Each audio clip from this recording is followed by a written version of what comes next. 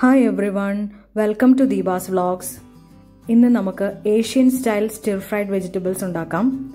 ഇത് നമുക്ക് ന്യൂഡിൽസിന്റെ ഒപ്പവും ഫ്രൈഡ് റൈസിന്റെ ഒപ്പവും ഒക്കെ സൈഡ് ഡിഷായിട്ട് ഉപയോഗിക്കാം. വളരെ ടേസ്റ്റി ആയിട്ടുള്ള ഒരു വെജിറ്റബിൾ ഡിഷാണിത് മാത്രമല്ല ഡയറ്റ് ചെയ്യുന്നവർക്കൊക്കെ ഒരു വൺ പോട്ട് മീൽ പോലെ ഒരു നേരത്തെ ആഹാരമായി കഴിക്കാൻ പറ്റുന്ന ഒരു വിഭവമാണിത്.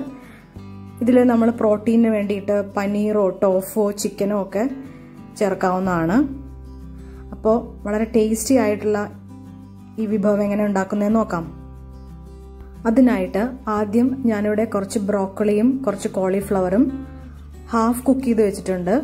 നമുക്കിത് സ്റ്റീം ചെയ്യുകയോ അല്ലെങ്കിൽ ഒന്ന് ചൂടുവെള്ളത്തിൽ ബ്ലാൻഡ് ചെയ്തെടുക്കുകയോ ചെയ്യാം. ഇത് ഹാഫ് കുക്കാക്കി വെച്ചിരിക്കുന്നതാണ് കേട്ടോ ഇനി നമ്മൾ ഒരു വലിയ പാൻ ചൂടാക്കിയിട്ട് അതിലേക്ക് രണ്ട് ടേബിൾ സ്പൂൺ സെസമി ഓയിൽ അഥവാ നല്ലെണ്ണ ചേർക്കാം.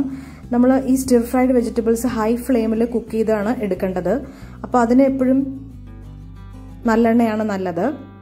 അപ്പോൾ ഇതിലേക്ക് നമ്മൾ രണ്ട് ടേബിൾ സ്പൂൺ വെളുത്തുള്ളി സ്ലൈസ് ചെയ്തത്.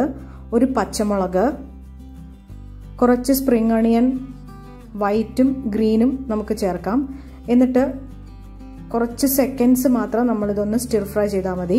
ഒരുപാട് നമ്മൾ വഴറ്റിയെടുക്കേണ്ട ആവശ്യമില്ല. അപ്പോൾ നമ്മൾ ഹൈ ഫ്ലെയിമിലാണ് എല്ലാ വെജിറ്റബിൾസും കുക്ക് ചെയ്തെടുക്കുന്നത് കേട്ടോ.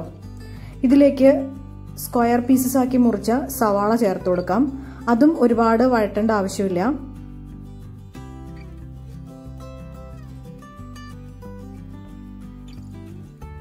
ഇനി ഇതിലേക്ക് കനം കുറഞ്ഞ് സ്ലൈസസ് ആക്കി വെച്ചിരിക്കുന്ന സ്ക്വയർ പീസസ് ആക്കി വെച്ചിരിക്കുന്ന ക്യാരറ്റും ക്യാപ്സിക്കവും ചേർക്കാം.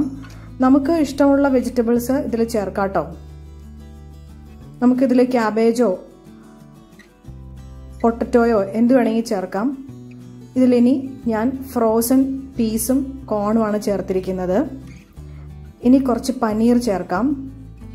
പനീറിന് പകരം നമുക്ക് ബോൺലെസ് ചിക്കൻ പീസസ് ചേർക്കാട്ടോ. കേട്ടോ ഇനി ഇതിലേക്ക് ഞാൻ ഹാഫ് കുക്ക് ചെയ്ത് വെച്ചിരിക്കുന്ന ബ്രോക്കളിയും കോളിഫ്ലവറും ചേർത്ത് കുറച്ചു നേരം നമ്മൾ ഇതിനെ കുക്ക് ചെയ്തെടുക്കണം. നമ്മൾ അടച്ചു വെച്ച് വേവിക്കുന്നില്ല.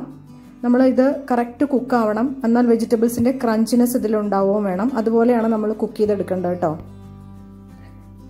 നമ്മൾ കൂടുതൽ വേവ് ആവശ്യമുള്ള പച്ചക്കറികൾ ചേർക്കുമ്പോൾ അതൊന്ന് ഹാഫ് കുക്ക് ചെയ്ത് വേണം ചേർക്കാൻ കേട്ടോ ഇനി ഇതിലേക്ക് നമുക്ക് ആവശ്യത്തിനുള്ള ഉപ്പ് ചേർത്ത് കൊടുക്കാം. ഇനി ഒരു ടീസ്പൂൺ കുരുമുളക് പൊടി ചേർത്ത് കൊടുക്കാം.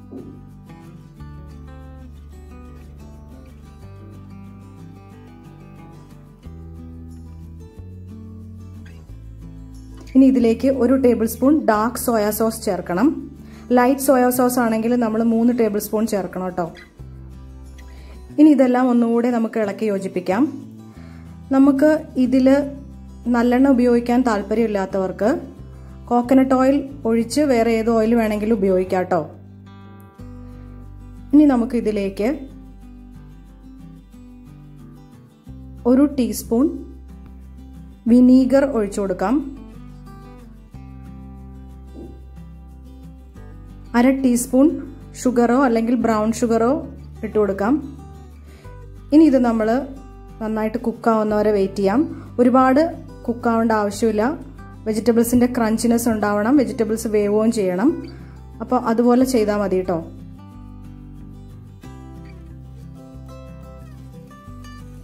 ഇപ്പോൾ ഇതെല്ലാം കുക്കായിട്ടുണ്ട്. ഇനി അവസാനം നമുക്ക് ഒരു ടീസ്പൂൺ കറുത്ത എള്ളും ഒരു ടീസ്പൂൺ വെളുത്ത എള്ളും ചേർത്ത് കൊടുക്കാം.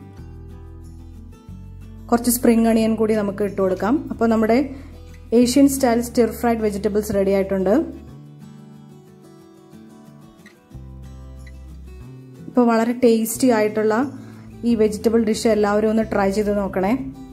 വളരെ ഡിഫറെന്റ് ടേസ്റ്റുള്ള ഈ വെജിറ്റബിൾ ഡിഷ് നമുക്ക് ഫ്രൈഡ് റൈസിനും ന്യൂഡിൽസിനും ഒക്കെ സൈഡ് ഡിഷായിട്ട് ഉപയോഗിക്കാം. അല്ലെങ്കിൽ ഞാൻ പറഞ്ഞതുപോലെ ഒരു വൺ പോട്ട് മീലായിട്ട് ഒരു നേരത്തെ ആഹാരമായിട്ട് നമുക്കിത് കഴിക്കാം. അപ്പോൾ എന്റെ വീഡിയോ ഇഷ്ടമായി കഴിഞ്ഞാൽ എന്റെ ചാനൽ സബ്സ്ക്രൈബ് ചെയ്യാൻ മറക്കരുതേ. ഈ ഒരു ഡിഷ് എപ്പോഴും ഹൈ ഫ്ലെയിമിലാണ് നമ്മൾ കുക്ക് ചെയ്തെടുക്കേണ്ടത് കേട്ടോ അടച്ചു വെക്കാതെ വേണം നമ്മൾ വെജിറ്റബിൾസ് വേവിക്കാൻ. അടുത്ത റെസിപ്പിയുമായി വരുന്നത് വരെ ബ